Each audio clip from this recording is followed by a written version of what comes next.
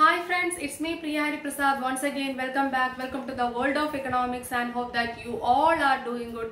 ഇന്ന് നമ്മളിവിടെ ഡിസ്കസ് ചെയ്യാൻ പോകുന്നത് ഫ്രീഡ്മാൻ സാവേജ് ഹൈപ്പോത്തിസിസ് ആണ്. ഫ്രീഡ്മാൻ സാവേജ് ഹൈപ്പോത്തിസിസ് അപ്പൊ degree and P G level സ്റ്റുഡൻസിന് അല്ലെങ്കിൽ നെറ്റ് സെറ്റ് ഇതെല്ലാം ട്രൈ ചെയ്യുന്നവർക്കും വളരെ വളരെ യൂസ്ഫുൾ ആയിട്ടുള്ള ഒരു ക്ലാസ് തന്നെയായിരിക്കും. അപ്പൊ മാക്സിമം എല്ലാവരും കാണുകയും നിങ്ങളുടെ ഫ്രണ്ട്സുമായിട്ട് ഷെയർ ചെയ്യുകയും ചെയ്യാം. Okay then come let's learn together let's begin the class okay എന്താണ് ഫ്രീഡ്മാൻ സാവേജ് ഹൈപ്പോത്തിസിസ് ആക്ച്വലി ഇത് വരുന്നത് ചോയ്സ് അണ്ടർ അൺസർട്ടനിറ്റി അല്ലെ? ചോയ്സ് അണ്ടർ അൺസർട്ടനിറ്റി അതിനകത്ത് വരുന്ന ഒരു ഹൈപ്പോത്തിസിസ് ആണ് അല്ലെ?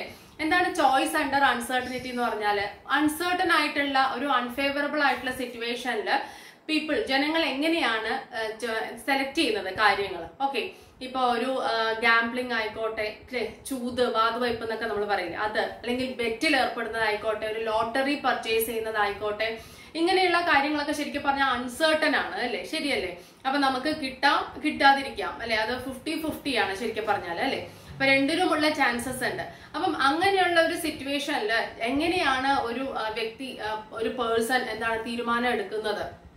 അതുമായി റിലേറ്റ് ചെയ്തിട്ടുള്ള ഒരു ഹൈപ്പോത്തസിസ് ആണ് ഈ ഫ്രീഡ്മാൻ സാവേജ് ഹൈപ്പോത്തസിസ് എന്ന് പറയുന്നത്. ഓക്കെ അപ്പം ഇങ്ങനെയുള്ള അൺഫേവറബിൾ ആയിട്ടുള്ള എന്താ പറയാ സിറ്റുവേഷനിൽ ഒരു വ്യക്തി എങ്ങനെയായിരിക്കും എടുക്കുന്നത്?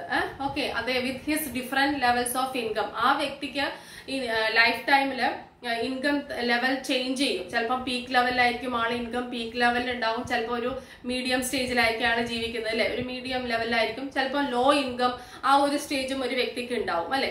അപ്പൊ അങ്ങനെയുള്ള സിറ്റുവേഷനിൽ ആ വ്യക്തി എങ്ങനെ ഈ അൺഫേവറബിൾ ആയിട്ടുള്ള അല്ലെങ്കിൽ അൺഫെയർ ആയിട്ടുള്ള ബെറ്റ്സോ ഗാംബ്ലിങ്ങോ ലോട്ടറിയോ ഇതിനകത്തൊക്കെ എൻഗേജ് ചെയ്യുന്നത്? എങ്ങനെയാണ്? എങ്ങനെയാണ് ആ വ്യക്തി ഡിസിഷൻ എടുക്കുന്നത്? എങ്ങനെ തിരഞ്ഞെടുക്കുന്നു?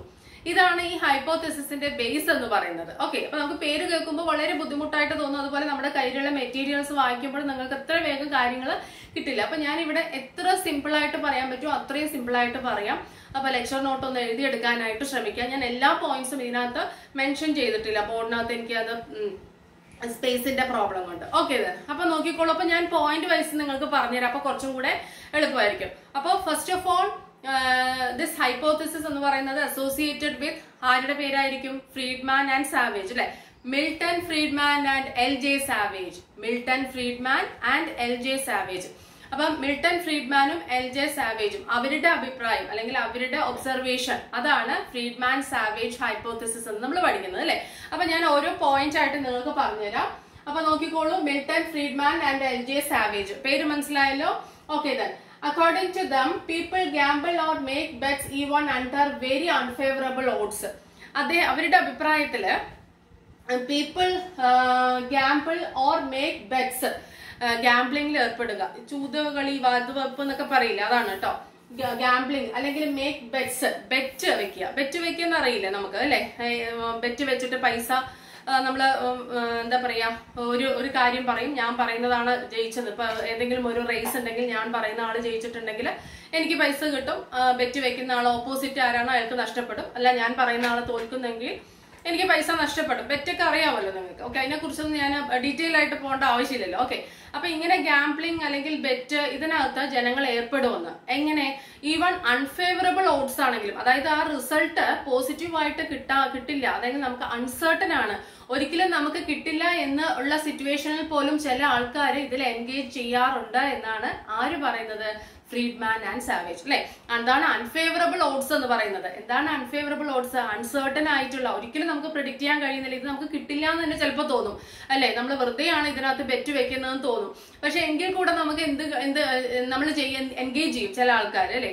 അങ്ങനെ ഒരു ടെൻഡൻസി ജനങ്ങൾക്ക് ഉണ്ട് എന്ന് ആര് പറയുന്നു? ഫ്രീഡ്മാൻ ആൻഡ് സാവേജ് പറയുന്നു. ഓക്കെ അപ്പൊ according to Friedman Savage hypothesis അല്ലെങ്കിൽ according to Milton Friedman and L J Savage people gamble or make bets even under very unfavorable odds അല്ലെ? വളരെ അൺഫേവറബിൾ ആയിട്ടുള്ള ഓഡ്സ് അങ്ങനെയുള്ള സിറ്റുവേഷനിലും അവർ എൻഗേജ് ചെയ്യുന്നുണ്ട് ഇത്തരത്തിലുള്ള കാര്യങ്ങളിൽ എന്നാണ് പറയുന്നത് ചില ആൾക്കാർ അങ്ങനെ ചെയ്യില്ലേ? ഓക്കെ ഇത് ഇനി നോക്കിക്കോളൂ. This hypothesis is entirely different from Bernoulli's hypothesis ഈ ഫ്രീഡ്മാൻ സാവേജ് ഹൈപ്പോത്തസിസ് എന്ന് പറയുന്നത് entirely different from Bernoulli's hypothesis ബെർണോളിയുടെ ഹൈപ്പോത്തസിസിൽ നിന്നും എന്റയർലി ഡിഫറെന്റ് ആണ്. ഇനി എന്താണ് ബെർണോളി ഹൈപ്പോത്തസിസ് അത് വേറൊരു ക്ലാസ് ആയിട്ട് ഞാൻ ചെയ്യാം. You have to wait for that okay then അപ്പൊ അതിനകത്ത് പറയുന്നത് ഞാൻ ചുരുക്കി പറഞ്ഞുതരാം. ബെർണോളി എന്ന് പറയുന്ന എക്കണോമിസ്റ്റ് അദ്ദേഹം പറയുന്നത് എന്താന്ന് വെച്ചാൽ ജനങ്ങൾ ഇങ്ങനെയുള്ള പെറ്റ്സിലും ഗാംബ്ലിങ്ങിലും ഒക്കെ ഏർപ്പെടുന്നത് അതിൽ നിന്നും കിട്ടുന്ന യൂട്ടിലിറ്റി അനുസരിച്ചിട്ടാണെന്നാണ്. അല്ലാതെ ഈ സിറ്റുവേഷൻ അൺഫേവറബിൾ ആണോ അങ്ങനെ നോക്കിയിട്ടല്ല. അതിൽ നിന്നും കിട്ടുന്ന സാറ്റിസ്ഫാക്ഷൻ യൂട്ടിലിറ്റി ബേസ് ചെയ്തുകൊണ്ട് ഓരോരുത്തരും എന്താ പറയാ ഈ ഇങ്ങനെയുള്ള റിസ്കിൽ എൻഗേജ് ചെയ്യുന്നു ബെറ്റ്സിലോ അല്ലെങ്കിൽ ഗ്യാംബ്ലിംഗിലൊക്കെ എൻഗേജ് ചെയ്യുന്നു എന്നാണ് ആര് പറയുന്നത്? ബെർണോളി പറയുന്നത്. അപ്പം ഈ ബെർണോളി ഹൈപ്പോത്തസിൽ നിന്നും സംതിങ് ഡിഫറെന്റ് ആണ് എന്തെന്ന് പറയുന്നത്? ഫ്രീഡ്മാൻ സാവേജ് ഹൈപ്പോത്തസിസ് ആ ഒരു പോയിന്റ് നമ്മൾ ഫ്രീഡ്മാൻ സാവേജ് ഹൈപ്പോത്തസിസ് എഴുതുന്ന സമയത്ത് എഴുതിയിരിക്കണം. മനസ്സിലായല്ലോ? ഓക്കെ അപ്പൊ it is entirely different from Bernoulli's hypothesis then next one according to Friedman Savage hypothesis, the same individual may engage in gambling on the one hand and buy insurance on the other. Um, ഈ uh, ഒരു എന്താ പറയാ uh, ഈ Milton Friedman uh, അവരുടെ അഭിപ്രായത്തിൽ അല്ലെങ്കിൽ ഈ ഹൈപ്പോത്തസിന്റെ അഭിപ്രായത്തിൽ എന്താ പറയുന്നത് വെച്ചാൽ സെയിം ഇൻഡിവിജ്വൽ തന്നെ ഒരേ വ്യക്തി തന്നെ ചില സമയത്ത് ഗാംബ്ലിംഗിൽ ഏർപ്പെടുകയും ചെയ്യും. ആ വ്യക്തി തന്നെ വേറൊരു സൈഡിൽ എന്ത് ചെയ്യും? ഇൻഷുറൻസ് ബൈ ചെയ്യുകയും ചെയ്യും. ഓക്കെ ഇൻഷുർ ചെയ്യുകയും ചെയ്യും അയാളുടെ പല കാര്യങ്ങളും. മനസ്സിലായോ? അപ്പൊ എന്താ അതിനകത്ത് മനസ്സിലാവുന്നത്? ഗാംബ്ലിംഗിൽ ഏർപ്പെടുക എന്ന് പറഞ്ഞാൽ റിസ്ക് ഏറ്റെടുക്കുകയാണ് ആൾ. ശരിയല്ലേ? ധൈര്യത്തോടു കൂടി റിസ്ക് ഏറ്റെടുക്കുകയാണ്.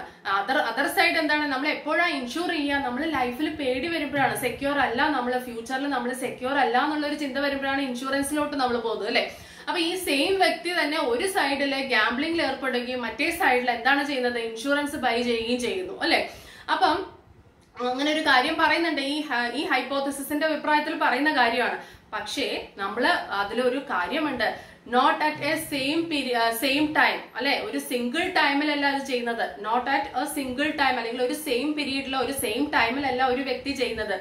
ഡിഫറെന്റ് ടൈമിലായിരിക്കും അതായത് ഡിഫറെന്റ് ലെവൽസ് ഓഫ് ഇൻകം ഉണ്ടാവുമല്ലോ ഒരു വ്യക്തിക്ക് ലൈഫ് ടൈമിൽ ത്രൂ ഔട്ട് ദ ലൈഫ് എന്തുണ്ടാവും? ഡിഫറെന്റ് ലെവൽസ് ഓഫ് ഇൻകം ഉണ്ടാവും. ആ ഡിഫറെന്റ് ലെവൽസ് ഓഫ് ഇൻകത്തിൽ നിന്നുകൊണ്ട് ഓരോ ലെവൽ ഓഫ് ഇൻകത്തിനും ഓരോ രീതിയിലായിരിക്കും ആര് ചെയ്യുന്നത് ബിഹേവ് ചെയ്യുന്നത് ഈ ഒരു വ്യക്തി ചെയ്യുന്നത്. മനസ്സിലായോ? ഫോർ എക്സാമ്പിൾ ഇപ്പൊ എനിക്ക് നല്ല പീക്ക് ലെവൽ ഇൻകം ഉണ്ടെങ്കിൽ ഞാൻ എന്ത് ചെയ്യും? എനിക്ക് ഇൻകം ഉണ്ട്. അപ്പൊ അപ്പൊ എനിക്ക് എന്താ പറയാ? പിന്നെ എനിക്ക് റിസ്ക് ഒന്നും ഏറ്റെടുക്കേണ്ട ആവശ്യമില്ല. ലോട്ടറിയോ അങ്ങനെയുള്ള കാര്യങ്ങളൊന്നും എനിക്ക് പോകേണ്ട ആവശ്യമില്ല അല്ലെ? അതേപോലെ ഒരു മീഡിയം ലെവൽ ഇൻകം ആണെങ്കിൽ ഞാൻ ഒരു മിഡിൽ ക്ലാസ് ആയിട്ട് ജീവിക്കുകയാണെങ്കിൽ നമുക്ക് ഓരോ കാര്യങ്ങൾക്ക് വേണ്ടി നമ്മുടെ സോഷ്യൽ സ്റ്റാറ്റസ് മെച്ചപ്പെടുത്താൻ വേണ്ടി ലോട്ടറിയോ ഇങ്ങനെയുള്ള കാര്യങ്ങളിലോട്ട് ഞാൻ പോകും. ശരിയല്ലേ? ഇനി ലോ ലെവൽ ആണെങ്കിൽ നമുക്ക് എന്ത് തോന്നും? നമുക്ക് അങ്ങേയറ്റം ഇതാണ്. സാറ്റിസ്ഫാക്ഷൻ ഇല്ലാത്തൊരു സമയമാണ് ലോ ലെവൽ ആണെങ്കിൽ.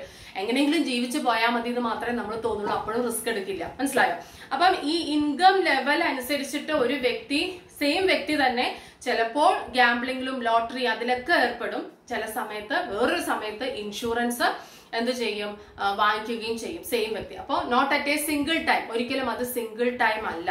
അദ്ദേഹത്തിന്റെ ഇൻകം ലെവലിൽ ചേഞ്ച് വരുമല്ലോ. അപ്പൊ in accordance with the changes in the income level of that person ആ പേഴ്സന്റെ ഇൻകം ലെവലിൽ ചേഞ്ച് വരും. അതിനനുസരിച്ചിട്ട് ആ വ്യക്തി എന്ത് ചെയ്യും? ഗാംബ്ലിംഗിൽ ഏർപ്പെടുകയും അതല്ല ചിലപ്പോൾ ഇൻഷുറൻസ് വാങ്ങിക്കുകയും ഇങ്ങനെയുള്ള കാര്യങ്ങൾ എടുക്കും. മനസ്സിലായോ പറഞ്ഞത്? അപ്പൊ ഇത്രയും കാര്യങ്ങൾ ആദ്യം ഇൻട്രൊഡക്ഷനിൽ നമ്മൾ എഴുതിയിരിക്കണം. ഓക്കെ അപ്പം എന്താണ് വ്യക്തികൾ അൺഫേവറബിൾ ആയിട്ടുള്ള ഓട്സ് സിറ്റുവേഷനിലും കൂടെ റിസ്ക് ഏറ്റെടുക്കുന്നു ഗാംബ്ലിംഗിൽ ഏർപ്പെടുന്നു. ബെർണോളീസ് ഹൈപ്പോത്തസിൽ നിന്നും എന്റയർലി ഡിഫറെന്റ് ആണ്. ഇവിടെ പറയുന്നത് സെയിം ഇൻഡിവിജ്വൽ തന്നെ ഗാംബ്ലിംഗിൽ ഏർപ്പെടുകയും ഇൻഷുറൻസിൽ ഇൻഷുറൻസ് ബൈ ചെയ്യുകയും ചെയ്യുന്നു. Not at a single time ഒരിക്കലും അത് സെയിം ടൈമിലല്ല എപ്പോഴാണ് ചെയ്യുന്നത്? എപ്പോഴാണ് ചെയ്യുന്നത്? ഇൻകം ലെവലിൽ ചേഞ്ച് വരുന്നതിനനുസരിച്ചിട്ടാണ് ചെയ്യുന്നത്. മനസ്സിലായോ? ഇനി ഈ ഇൻകം ലെവലിൽ എങ്ങനെയൊക്കെ ചേഞ്ച് വരുന്നു? ആ സമയത്ത് ഒരു പേഴ്സൺ എങ്ങനെ ബിഹേവ് ചെയ്യുന്നു? എന്നുള്ളതാണ് ഈ ഈ ഫ്രീഡ്മാൻ സാവേജ് ഹൈപ്പോത്തസിന്റെ ശരിയായിട്ടുള്ള എന്താണ് അടിസ്ഥാനം എന്ന് പറയുന്നത്.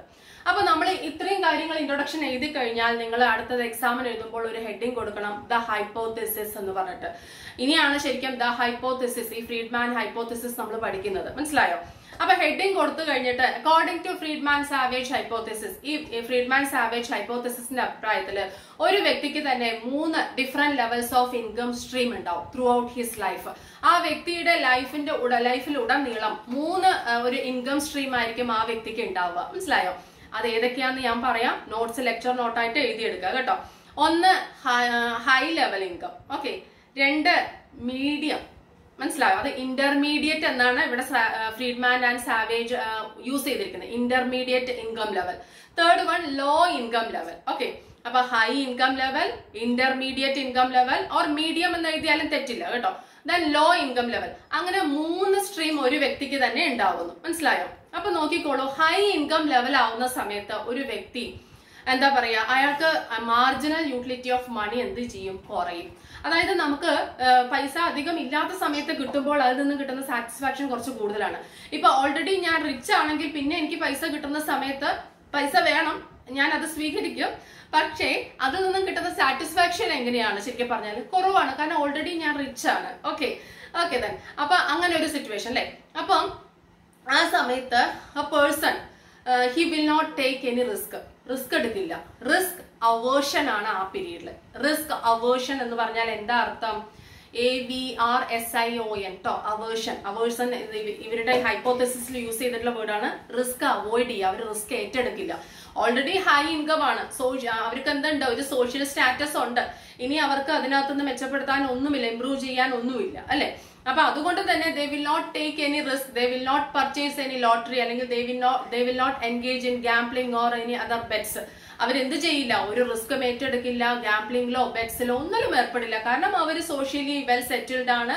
അതെ അത് എന്തുകൊണ്ടാണ് അവർക്ക് മാർജിനൽ യൂട്ടിലിറ്റി ഓഫ് മണി കുറവാണ്. മണിയിൽ നിന്നും കിട്ടുന്ന മാർജിനൽ യൂട്ടിലിറ്റി കുറവാണ്. എന്ന് വെച്ചാൽ പാവപ്പെട്ടവന് കിട്ടുമ്പോൾ ഉള്ള സാറ്റിസ്ഫാക്ഷൻ റിച്ചർ സെക്ഷന് കിട്ടുമ്പോൾ ഉണ്ടാവുമോ പൈസ കിട്ടുമ്പോൾ ഉണ്ടാവുമോ? ഉണ്ടാവില്ല. ഓക്കെ അപ്പൊ ദ ഹൈപ്പോത്തസിസ് എന്ന് എഴുതിയിട്ട് ഫ്രീഡ്മാൻ സാവേജ് ഹൈപ്പോത്തസിസിൽ മൂന്ന് ഇൻകം ഗ്രൂപ്പ് എന്ന് വെച്ചാൽ ഇൻകം ഗ്രൂപ്പ് വേണമെങ്കിൽ എഴുതാം. അല്ലെങ്കിൽ ഒരു പേഴ്സന്റെ മൂന്ന് ത്രൂ ഔട്ട് ലൈഫ് ആ വ്യക്തിക്ക് മൂന്ന് തരത്തിലുള്ള ഇൻകം ഇത് ഉണ്ടാവും അതിൽ ഫസ്റ്റ് വൺ ഹൈ ഇൻകം പറഞ്ഞു. അപ്പോൾ റിസ്ക് ഏറ്റെടുക്കില്ല. ഓൾറെഡി വെൽ സെറ്റിൽഡ് ആണ്. ലോട്ടറി അതൊന്നും പർച്ചേസ് ഇല്ല. മാർജിനൽ യൂട്ടിലിറ്റി ഓഫ് മണി എന്താണ്? ഡിമിനിഷ് ആണ് ചെയ്യുന്നത്. മനസ്സിലായോ?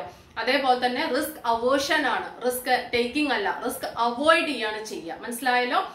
ഇനി സെക്കൻഡ് നമ്മുടെ intermediate income level medium middle class people അല്ലെങ്കിൽ ഒരു വ്യക്തിക്ക് മീഡിയം ലെവൽ ഇൻകം ഉണ്ടാവുന്ന ഒരു സിറ്റുവേഷൻ ഓക്കെ എങ്ങനെ വേണമെങ്കിലും നമുക്ക് വിലയിരുത്താം. അപ്പൊ ആ ഒരു സമയത്ത് നമ്മൾക്ക് നമ്മൾ എന്തായിരിക്കും ചെയ്യാം? കുറച്ചും കൂടെ സോഷ്യൽ സ്റ്റാറ്റസ് നമുക്ക് മെയിന്റെയിൻ ചെയ്യണമെന്ന് തോന്നലുണ്ടാവും. മിഡിൽ ക്ലാസ്സിനാണ് എപ്പോഴും ഇങ്ങനെ ഒരു തോന്നലുണ്ടാവുക. ലോ ഇൻകം ഗ്രൂപ്പുകാർക്കൊന്നും അങ്ങനെ ഉണ്ടാവില്ല. ശരിയല്ലേ? അപ്പൊ അങ്ങനെ മിഡിൽ ക്ലാസ് ആയിരിക്കുന്ന സമയത്ത് അവർ they will they are ready to take risk they will take risk അവർ എന്ത് ചെയ്യും? റിസ്ക് ഏറ്റെടുക്കും. Okay they will engage in gambling or bets or some other ഇതേപോലെ അൺഫെയർ പ്രാക്ടീസസ് ഈവൺ അൺഫെയർ ആയിട്ടുള്ള എന്താ പറയാ ഓഡ്സ് പ്രാക്ടീസസ് എന്നല്ല ഉദ്ദേശിക്കുന്നത് ഓഡ്സ് അതായത് റിസൾട്ട് ചിലപ്പോൾ ഫെയിൽ ആവും എന്ന് തോന്നുന്ന അതിൽ പോലും എന്ത് ചെയ്യും? ചിലവര് ഈ ഒരു രീതിയിൽ എൻഗേജ് ചെയ്യും. കാരണം അവർക്ക് they want to improve their social status അവർക്ക് ഒരു നല്ലൊരു പൊസിഷനിൽ എത്തണം എന്നുള്ള ഒരു തോന്നൽ കാണും. മനസ്സിലായോ? അപ്പം അവർ ദേവിൽ പർച്ചേസ് ലോട്ടറി അല്ലെങ്കിൽ ബെറ്റിൽ എൻഗേജ് ചെയ്യും ഇങ്ങനെ ചെയ്യും. അവരുടെ മാർജിനൽ യൂട്ടിലിറ്റി ഓഫ് മണി ശരിക്കും പറഞ്ഞാൽ എന്താണ് ചെയ്യുക പതുക്കെ എന്താ ചെയ്യുക കൂടുകയാണ് ചെയ്യുക മാർജിനൽ യൂട്ടിലിറ്റി ഓഫ് മണി അവർക്ക് എന്താണ് ചെയ്യുക ഇൻക്രീസ് ചെയ്യാണ് ചെയ്യുക മനസ്സിലായോ? അപ്പൊ ഇന്റർമീഡിയറ്റ് ഇൻകം അല്ലെങ്കിൽ മീഡിയം ലെവൽ ഓഫ് ഇൻകത്തിലുള്ളവര് റിസ്ക് റിസ്ക് അവോഷൻ അല്ല റിസ്ക് ടേക്കിംഗ് ആണ് അല്ലെ? റിസ്ക് ഏറ്റെടുക്കും. അവർക്ക് ദേ വോണ്ട് ടു മെയിന്റെയിൻ ഒരു സോഷ്യൽ സ്റ്റാറ്റസ് മെയിന്റെയിൻ ചെയ്യണം. ലോട്ടറി പർച്ചേസ് ചെയ്യും എല്ലാം ചെയ്യും. മാർജിനൽ യൂട്ടിലിറ്റി ഓഫ് മണി അവരുടെ എന്താ ചെയ്യുക? ഇൻക്രീസ് ചെയ്യാണ് ചെയ്യുക. അവർക്ക് കിട്ടും തോറും അവരുടെ സാറ്റിസ്ഫാക്ഷൻ കൂടുകയാണ് ചെയ്യുക. മനസ്സിലായോ? ഇനി നമുക്ക് ലാസ്റ്റ് അല്ലെ? എന്താണ്? തേർഡ് ഒരു ലെവൽ ഓഫ് ഇൻകം എന്ന് പറയുന്നത് ലോ ലെവൽ ഓഫ് ഇൻകം ഈ ഗ്രൂപ്പുകാർക്ക് മാർജിനൽ യൂട്ടിലിറ്റി എന്താ ചെയ്യുക? ഡിമിനിഷ് ചെയ്യാണ് ചെയ്യുക. കാരണം അവർക്ക് പൈസ കിട്ടുന്നതിന് അവരുടെ ബേസിക് നീഡ്സിനാണ് അവർ മുന്നോട്ട് മുൻഗണന കൊടുക്കുക. കാരണം ലോ ഇൻകം ഗ്രൂപ്പുകാർ അവർക്ക് ഡെയിലി അവരുടെ ആവശ്യങ്ങൾ നടന്നു പോകണം എന്നൊക്കെ ആയിരിക്കും അല്ലെ? അതല്ലാതെ വേറെ ലക്ഷ്യമില്ല. അപ്പൊ അതുകൊണ്ട് തന്നെ അവർക്ക് കിട്ടുന്ന പൈസയുടെ ആ മാർജിൻ യൂട്ടിലിറ്റി സാറ്റിസ്ഫാക്ഷൻ ഒക്കെ അവർക്ക് എന്ത് തന്നെയായിരിക്കും? കുറവായിരിക്കും ശരിക്കും പറഞ്ഞാൽ ഏഹ് ഓക്കെ. എന്നാ ആര് പറയുന്നു? മിൽട്ടൺ ഫ്രീഡ്മാൻ പറയുന്നതാണ് കേട്ടോ. നമുക്ക് അതുപോലെ തന്നെ പഠിക്കണം. ഓക്കെ.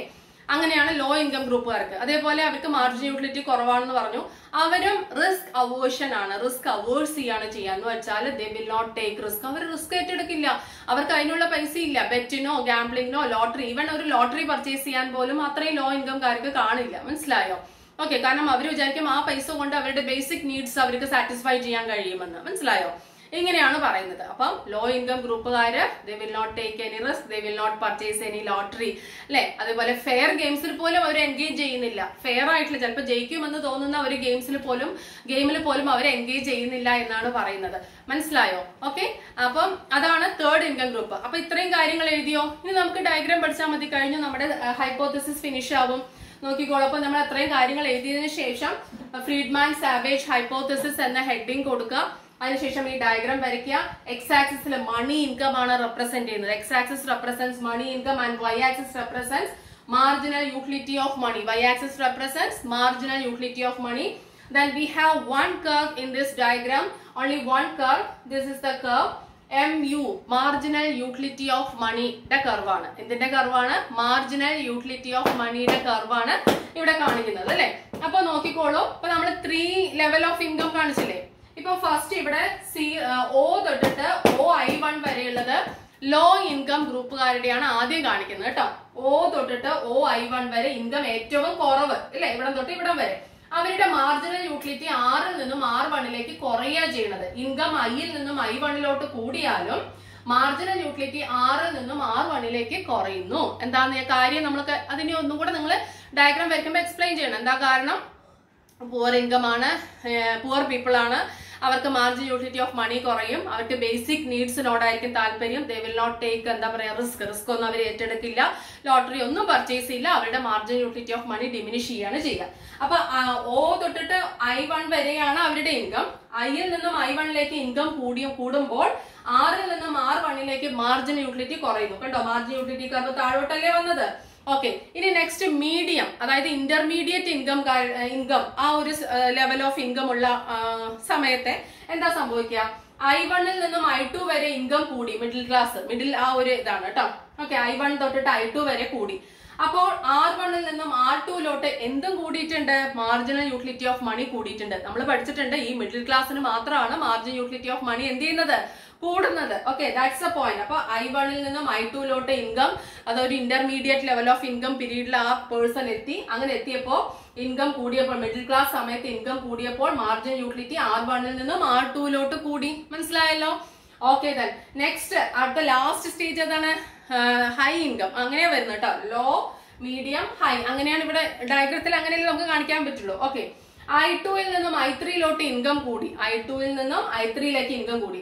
മാർജിനൽ യൂട്ടിലിറ്റി ആർ ടുവിൽ നിന്നും ആർ ത്രീയിലേക്ക് കുറഞ്ഞു. മാർജിനൽ യൂട്ടിലിറ്റി എന്ത് ചെയ്തു? ആർ ടുവിൽ നിന്നും ആർ ത്രീയിലേക്ക് എന്താ ചെയ്തിരിക്കുന്നത്? കുറയാണ് ചെയ്തിരിക്കുന്നത്. അത് ഹൈ ഇൻകം അല്ലെ? കാരണം അത് ഓൾറെഡി അവർ റിച്ച് ആണ്. അപ്പൊ അവർക്ക് പൈസ കിട്ടുമ്പോൾ അതിന്റേതായ സാറ്റിസ്ഫാക്ഷൻ നേരത്തെ ഉള്ളതിന്റെ അത്രയും സാറ്റിസ്ഫാക്ഷൻ ഇല്ല. അതുകൊണ്ടാണ്. മനസ്സിലായോ? ഇനി അവർ റിസ്ക് ഏറ്റെടുക്കുന്നില്ല. ഫെയർ ഗെയിംസിൽ പോലും എൻഗേജ് ചെയ്തില്ല. ഓൾറെഡി അവർ സെറ്റിൽഡ് ആണ്. അതുകൊണ്ട്. മനസ്സിലായല്ലോ? അപ്പം ഇതാണ് ആ മൂന്ന് സ്റ്റേജസ് എന്ന് പറയുന്നത്. ഇതാണ് എന്തെന്ന് പറയുന്നത്? എന്ത് ഹൈപ്പോത്തിസിസ് ഫ്രീഡ്മാൻ സാവേജ് ഹൈപ്പോത്തിസിസ് അപ്പം ലോ ഇൻകം ഐയിൽ നിന്നും ഐ വണ്ണിലേക്ക് ഇൻകം കൂടുമ്പോൾ ആറിൽ നിന്നും ആർ വണ്ണിലേക്ക് മാർജിൻ യൂട്ടിലിറ്റി കുറയുന്നു. ഐ ഐ വണ്ണിൽ നിന്നും ഐ ടുവിലോട്ട് മീഡിയം ലെവലിലേക്ക് ഇൻകം കൂടുമ്പോൾ മാർജിൻ യൂട്ടിലിറ്റി ആർ വണ്ണിൽ നിന്നും ആർ ടുവിലോട്ട് കൂടുന്നു. ദെൻ ഐ ടുവിൽ നിന്നും ഐ ത്രീയിലേക്ക് ഹൈ ലെവലിലോട്ട് ഇൻകം കൂടുന്ന സമയത്ത് ആർ ടുവിൽ നിന്നും ആർ ത്രീയിലേക്ക് മാർജിൻ യൂട്ടിലിറ്റി എന്ത് ചെയ്യുന്നു? കുറയുന്നു. മനസ്സിലാവുണ്ടല്ലോ? ഓക്കെ അപ്പം ഇത്രയും കാര്യങ്ങൾ ഞാൻ പറഞ്ഞത് കേട്ട് എക്സ്പ്ലെയിൻ ചെയ്യണം. അപ്പം ഞാൻ ഇത് ഇവിടെ പറഞ്ഞിരിക്കുന്ന രീതി അത്രയ്ക്ക് സിംപ്ലിഫൈ ചെയ്തിട്ടാണ്. കാരണം എനിക്കറിയാം നിങ്ങളുടെ പ്രോബ്ലം കാരണം ടെക്സ്റ്റ് നോക്കുന്ന സമയത്ത് ഇത് എന്താണ് ഈ ഹൈപ്പോത്തസിസ് എന്തൊക്കെയാണ് എക്സ്പ്ലെയിൻ ചെയ്തിരിക്കുന്നത് അല്ലേ? നമുക്ക് മനസ്സിലാവില്ല. അപ്പൊ അതിൽ നിന്നും എന്താണ് നമ്മൾ മനസ്സിലാക്കേണ്ടത്? അത് അത്രയും സിംപ്ലിഫൈ ചെയ്തിട്ട് ഞാൻ പറഞ്ഞു തന്നു എന്ന് വിശ്വസിക്കുന്നു. അപ്പൊ നിങ്ങൾക്ക് യൂസ്ഫുൾ ആണെങ്കിൽ എല്ലാവരും വാച്ച് ചെയ്യുക കമന്റ് ചെയ്യുക സജഷൻസ് അറിയിക്കുക ഫ്രണ്ട്സുമായിട്ട് ഷെയർ ചെയ്യുക. വീണ്ടും ഇതേപോലെ അടുത്ത വീഡിയോയിലൂടെ കാണാം. Thank you thanks a lot take care bye